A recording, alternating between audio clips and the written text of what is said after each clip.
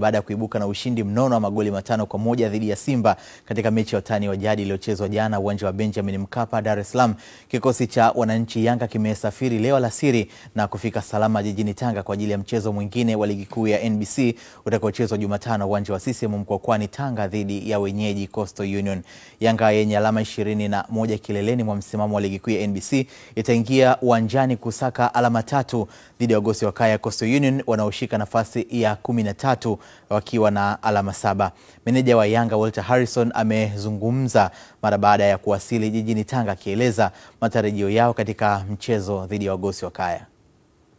Kikubwa tunamshukuru Mwenyezi Mungu, tumesafiri salama kutoka Dar es Salaam baada ya uh, mchezo wa jana dhidi ya Simba na kuweza kupata matokeo mazuri. Asubuhi timu iliweza kufanya recovery uh, kwa ajili ya kuweka miili sawa kabla ya safari na kila kitu kilienda sawa, kupata chakula cha mchana pamoja na safari ikaanza.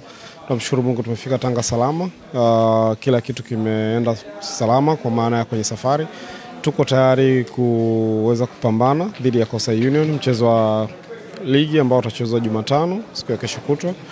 Uh, timu iko salama kabisa, kwa hiyo tunasubiri kuona ni jinsi gani ambavyo tutajiandaa kwa siku ya kesho, ikiwa ni siku ya mwisho kabla ya mchezo, kwa ajili ya kuhakikisha kwamba tunaendeleza furaha kwa wananchi. Kikubwa unajua, yes, Coastal hawajafanya vizuri, lakini pindi ambapo wanacheza dhidi ya Yanga mchezo unakuwa ni wa tofauti. Kwa hiyo uh, yote hayo sisi tume tunayafahamu na tumeyaweka kwenye akili zetu na kwenye mipango yetu. Kwa hiyo tunajiandaa kuhakikisha kwamba tunaenda kuwa na mchezo mzuri, kwa sababu tunategemea na tunajua ugumu ambao utakuwepo kwenye mchezo husika.